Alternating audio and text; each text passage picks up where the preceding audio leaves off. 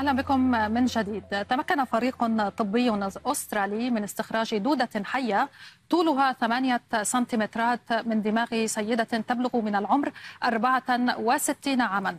وقال الفريق الطبي إن رحلة معاناة المريضة بدأت في عام 2021 وكانت تشتكي من الصداع المستمر وألام البطن والغثيان. وبعدها تطورت الأعراض إلى السعال وارتفاع درجة الحرارة والنسيان وهو ما استوجب إحالتها إلى مستشفى كامبيرا لفحص دماغها بالرنين المغناطيسي وكشفت صور الأشعة بعض التشوهات التي تطلبت تدخلا جراحيا من قبل الفريق الطبي التي تفاجأ بوجود هذه الدودة.